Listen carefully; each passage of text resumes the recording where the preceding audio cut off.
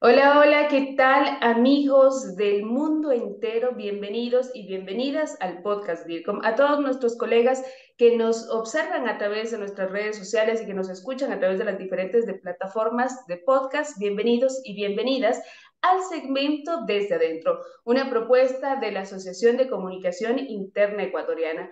Hoy hablando de lo que nos apasiona, la comunicación interna. Y para ello, hoy hemos invitado a Alejandro Álvarez Nobel desde la Universidad de Málaga para hablar de una etapa muy importante del proceso de la planificación, que es la evaluación de comunicación interna. Para ello, entonces, le damos la más cordial bienvenida Alejandro, gracias por acompañarnos y por aceptar sobre todo esta invitación. Es un verdadero placer. Eh, son un equipo maravilloso trabajando desde hace muchísimos años por la comunicación interna, este activo, esta área, esta dimensión tan trascendental en las organizaciones, así que para mí es un, es un honor acompañarlos hoy.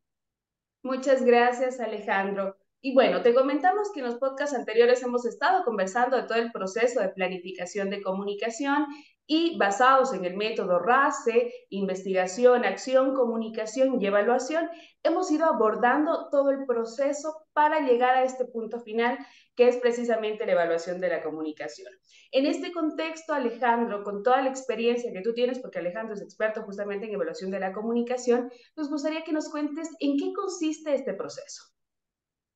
Bueno, casualmente, como muy bien lo, introducías, esta es la, función de evaluación, es la última de las dimensiones, o la primera, también lo podríamos plantear de esa manera, aunque siempre ha sido la, hermana pobre, ¿no? La que ha estado relegada dentro del proceso de dirección y gestión de comunicación estratégica, de, de relaciones públicas, y ni hablar de comunicación interna. Y es efectivamente la última de las etapas en la que en principio lo que vamos a hacer es primeramente medir, o sea, asignarle valor a mm, la gestión que hemos llevado adelante, a la transformación que se supone que hemos ido eh, llevando mm, adelante con, con, la dirección y la gestión de comunicación. Y em, una vez asignado ese valor, que sería medir, eh, interpretar esos resultados, esos impactos, después vamos a ver que hay distintos niveles de impacto, de acuerdo a los objetivos que nos hemos planteado, para, mm, eh, digamos, de alguna manera dar cuenta del aporte de la comunicación a la organización. ¿no? Esta es la instancia que eh, construye los sistemas de información dentro de las organizaciones, tanto para la gestión de comunicación interna como para la gestión de comunicación externa o integrada, em, y luego nos permite em, otorgar información, o sea, nos, nos arroja información para tomar decisiones. ¿no? Este es un proceso que se viene transformando mucho, es una función que se viene transformando mucho dentro de, por así decirlo, las, competencias o capacidades de, quienes llevan adelante la gestión y la dirección de comunicación, porque en un principio era una, la visión era mucho más operativa, más funcionalista, ¿no? Era básicamente medir impactos en términos de salidas, o sea, si salíamos en los medios de comunicación, si teníamos repercusiones en las redes sociales, si generamos, por ejemplo, participación o respuesta dentro de la comunicación interna, pero cada vez más es una función que se vuelve más estratégica. El director de comunicación, la directora de comunicación eh, empieza a ocupar puestos de relevancia, puestos eh, con, una, em, con un alto grado de impacto político institucional, y entonces la posibilidad de construir estos sistemas de información que permanentemente nos estén dotando em, de datos, de valoraciones para poder asesorar y nosotros mismos también tomar decisiones, es altamente eh, competitivo o vuelve altamente competitiva la función dentro de las organizaciones. Alejandro, en este contexto, algo que siempre se consultan ¿no? los gestores de comunicación interna es qué evaluamos específicamente en la comunicación interna, ¿no? ¿Cuál es el, no solo es cuál es el proceso, sino qué es lo que se debe evaluar, tomando en cuenta lo que nos comentabas hace un momento y que yo coincido, que la comunicación interna desde hace muchos años ha sido relegada a la cenicienta, ¿no? De las comunicaciones. Entonces, acá el, tema es preguntarse qué es precisamente lo que yo como gestor de comunicación debo evaluar cuando hago este, esta parte del proceso. Bien, es, es muy interesante la pregunta porque nos pasa con cada una de las dimensiones de la gestión de relaciones públicas o de comunicación estratégica, ¿no? Es el qué, es el cómo, cuál es la herramienta, cuál es el método. Y más bien, la, primera pregunta que nos tenemos que hacer es el para qué. ¿Para qué evaluamos? ¿no? Entonces, aquí entendemos que la función de medición y evaluación, y siempre hablamos esto, ¿no? Medición y evaluación, es un matrimonio que va, siempre debe ir de la mano, ¿no? Una no puede estar sin la otra, ¿sí? tiene que formar parte integral de la gestión de comunicación, ¿no? O sea, no puede ser, no es una función accesoria, ¿no? Muchas veces se ha hablado de em, las funciones de auditoría, por ejemplo, ¿no? Que son procesos externos que toman una fotografía. Hoy la, evaluación está de manera permanente, o sea, es performativa de la propia gestión, o sea, nos va dando información de manera permanente, feedback de manera permanente, para poder ir mejorando la gestión, en este caso de comunicación interna, y también nos sirve de manera, eh, mm, eh, cuando se habla de una evaluación em, de, por resultado, ¿sí? sumativa, ¿no? que es la que acumula en determinado periodo y es la que nos permite medir esa contribución. ¿no? Entonces, aquí la pregunta sería el para qué en relación a la comunicación interna es tener primero claro cuáles son los objetivos de comunicación interna que queremos alcanzar, cuáles son las metas, ¿no? Y en función de eso, la evaluación tiene que ser una función que acompañe la consecución de esos objetivos. Si lo que nos interesa es lograr mayor participación o mayor compromiso, ahora por ejemplo es, es un drive mm, súper importante en la comunicación interna con, con las grandes transformaciones que estamos viviendo en las organizaciones, por ejemplo vinculadas al teletrabajo, a la virtualidad, ¿no? O, mm, o por ejemplo a la integración con el propósito personal, con el bienestar y con el propósito organizacional, ¿no? Entonces, una vez establecidos los objetivos de comunicación interna y desplegadas las acciones, ¿sí? lo que tenemos que medir son esas propias acciones. Entonces deberemos construir indicadores y metodologías, instrumentos, herramientas, estos sistemas de información de los que estamos hablando, que nos vayan arrojando evidencia ¿sí? para ver si esa gestión va por buen camino, si aparecen impactos no previstos, ¿sí? Eh, y en el caso de que sea así, poder modificarlo casi en tiempo real. Esto también es muy importante porque la evaluación empieza a acompañar la transformación de la planificación. Ya no pensamos en modelos tan normativos y rígidos, en el que el evaluar era la última etapa, sino que pensamos en procesos o perspectivas de planificación mucho más estratégicas, mucho más prospectivas, que requieren de una evaluación casi permanente en tiempo real, ¿no? Justamente, Alejandro, un tema interesante de lo que tú nos presentas el día de hoy es el tema de que la evaluación no es la última etapa del proceso de planificación, sino tiene que ser un acompañante permanente de todo el proceso de planificación. Esto nos da la pauta de saber si estamos precisamente alcanzando los objetivos que planteamos en un, inicio de nuestro proceso de planificación, que es algo sumamente interesante y sobre todo que nos permite establecer correctivos en caso de que no los estemos alcanzando, ¿no? Establecer nuevas estrategias para llegar a estos objetivos. Un tema importante también que me parece que deberíamos plantearlo en este podcast es que en muchas ocasiones la comunicación no se tangibiliza ¿no? en resultados, por llamarlo así. Lamentablemente, los gerentes de las organizaciones, el CEO, señala que no ve resultados del proceso de planificación y muchas ocasiones se debe a que no estamos evaluando, ¿no? En este sentido, ¿por qué es importante evaluar la comunicación interna en las organizaciones? Bueno, ahí hay una instancia también muy, muy interesante que, que planteas, eh, Vanessa, que es lo que conocemos como los niveles de impacto. ¿no? Eh, siempre se ha hablado que lo, que no se mide no se puede gestionar, esto, esto efectivamente es real, otras áreas dentro de las organizaciones, dentro del management organizacional, las han desarrollado mucho más. Mm, por caso, nuestros primos hermanos o primas hermanas del marketing, eh, ellos permanentemente están midiendo y evaluando cada una de las acciones, ¿no? Y eso les permite, de alguna manera, cierta legitimidad y cierta perdurabilidad dentro de la organización, ¿no? Incluso mm, incrementos presupuestarios, sofisticaciones de equipo, etcétera, etcétera, ¿no? Aquí entonces uno de los puntos interesantes es primero tener claro que la función de evaluación es, es, de alguna manera la función, en vez de ser una función residual, hoy cada vez cobra más fuerza para volver mucho más estratégica y política la función de comunicación dentro de la organización. ¿Por qué? Porque ayuda eh, y materializa la toma de decisiones, ya sea por parte de la comunicación o en el asesoramiento de la toma de decisiones. ¿sí? Eh, nos, hemos, nos estamos volviendo cada vez más en expertos gestores de información. Eh, sabemos que por, por axioma siempre la información ha sido poder, y en este sentido es una manera de, legitimizar el trabajo de la comunicación dentro de las organizaciones. Pero hay un montón de otros niveles más. Por ejemplo, el, el nivel más bajo, que es el nivel de los inputs, es el que pone en valor muchas veces eh, aquellos recursos con los que contamos para poder eh, llevar adelante la gestión de comunicación, ya sea interna o externa, ¿no? Y esto es algo que, por ejemplo, muchas veces subestimamos, ¿no?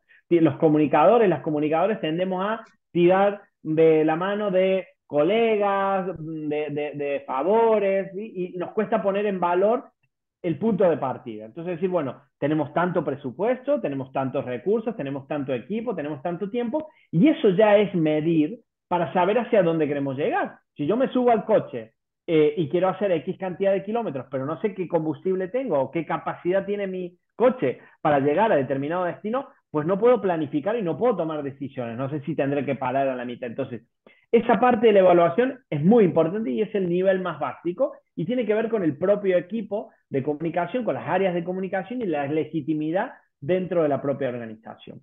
Después tenemos todo lo que tiene que ver con la productividad de la evaluación. ¿sí? Eh, aquí, llevándolo al campo de la comunicación interna, todo lo que hagamos en, materia de comunicación interna también lo podemos medir y evaluar, ¿no? O sea, uno puede saber, por ejemplo, eh, permanentemente estar midiendo el clima laboral, en el caso de los eventos, medir la participación, medir la calidad de esa participación, en el caso de la comunicación interna, em, específicamente, bueno, cuál es el nivel de información, cómo funcionan los canales, qué tipo de información está circulando, hay entendimiento de esa información, y así con cada una de las dimensiones, estrategias o acciones que llevemos adelante. ¿no? Esto luego va a impactar en los públicos y ese es el tercer nivel de evaluación, el que tiene que ver con los resultados. ¿sí? Estamos posicionando mensajes, estamos generando un cambio de actitud, hay conocimiento, ¿cómo es la calidad de ese conocimiento? Este concepto que se habla mucho ahora del engagement, ¿no? Bueno, ¿qué características tiene ese engagement? Eh, em, ¿Cuál es la participación que existe? Y así con cada una de las dimensiones que nos podamos atravesar. El cuarto nivel y el último de los niveles tiene que ver ya con el impacto de la comunicación en términos organizacionales, ¿no? Si mejora la reputación, si mejora el valor de marca, si mejoran las ventas, si disminuye la rotación del personal, si mejora la satisfacción con los puestos de trabajo, em, si hay un, alto nivel de demanda por trabajar en esa empresa, incluso llevándolo a modelos Em, que legitiman. Por ejemplo, hay métricas que valoran, que ustedes lo controlan muy bien, em, eh, si es una empresa eh, satisfactoria para trabajar o cuál es el nivel de satisfacción, cuál es la relación de los empleados o colaboradores con la empresa, con la directiva, con el, la cuestión del liderazgo, por ejemplo, nosotros estamos trabajando ahora temas de liderazgo empático, ¿no? Entonces, medir eh, los perfiles de liderazgo, la formación, la interacción, los espacios de trabajo, tiene que ver con la reputación organizacional, ¿no? que es el más alto de los niveles. Muchas gracias, Alejandro. Tenemos entonces cuatro niveles de impacto que tenemos que tomar y tener presente en todo el proceso de planificación y sobre todo en el proceso de evaluación. Resta también preguntar cuáles son los riesgos de no evaluar. ¿No? En muchas ocasiones nos quedamos hasta el proceso de planificación táctico-estratégico. Hemos planteado una serie de acciones para alcanzar nuestros objetivos, pero llegamos hasta ahí. No planteamos indicadores, no estamos midiendo, no estamos evaluando. ¿Qué pasa cuando llegamos solo a este punto y no evaluamos? A mí hay una metáfora que me gusta mucho para esta instancia, que es como, ¿qué pasa si no respiramos? ¿no? Lo que pasa es que a veces estamos todo el tiempo respirando y no somos conscientes de la respiración. ¿no? Yo no me atrevería a decir que no haya nadie que gestione comunicación que no evalúa. A lo mejor no lo hace de una manera sofisticada, no lo instrumenta dentro de un proceso, no tiene un equipo, ¿no? Em, con lo cual tiene un, potencial ¿sí? Em, que no le permite desarrollar todas las capacidades y competencias de un área absolutamente trascendental y transformadora dentro de la organización. Pero cuando empezamos a tomar conciencia de la respiración, aprendemos a regular la respiración y por ende empezamos a tomar conciencia de la potencialidad que tiene la función de medición y evaluación, empezamos a construir y establecer sistemas de información, empezamos a tener capacidad de lectura de las transformaciones en los contextos, de las transformaciones en las organizaciones, de los cambios que se van dando en las personas, en los distintos públicos. Incluso empezamos a incorporar públicos de otras generaciones, ¿no? Como son el medio ambiente, la sociedad y el impacto que empiezan a tener en la organización.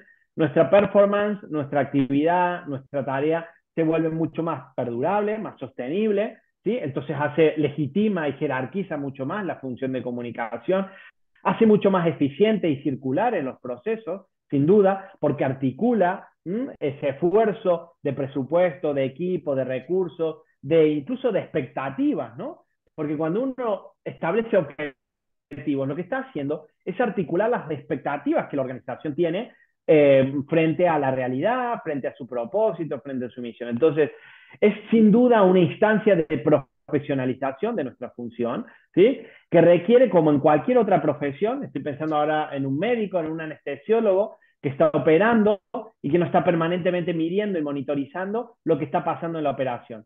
Pues los riesgos son, están, ¿sí? Eh, siempre pueden estar, no es que la evaluación vaya a disminuir muchos riesgos, pero lo que o eliminar los riesgos en su totalidad, pero sí los va a disminuir y va a permitir que los controlemos y poder tomar las realidades. En un mundo absolutamente cambiante, en organizaciones que están en permanente evolución, aquel que no tiene capacidad de adaptación no tiene posibilidad de sobrevivir.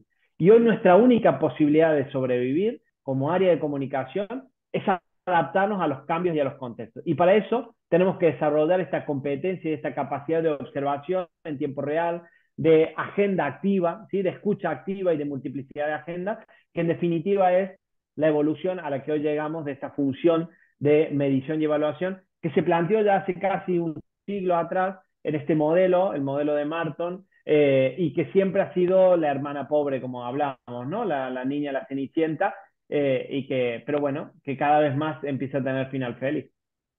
Muchas gracias, Alejandro. Finalmente, ¿cuáles consideras tú que son los retos y sobre todo las recomendaciones que tú darías a los gestores de comunicación interna para este proceso de evaluación dentro de la planificación de comunicación estratégica y tomando en cuenta un punto que nos acabas de recordar y que siempre estamos enfatizando, hoy estamos en un mundo cambiante, inestable, cuyo único, cuyo único tema puntual y permanente es el cambio, ¿sí?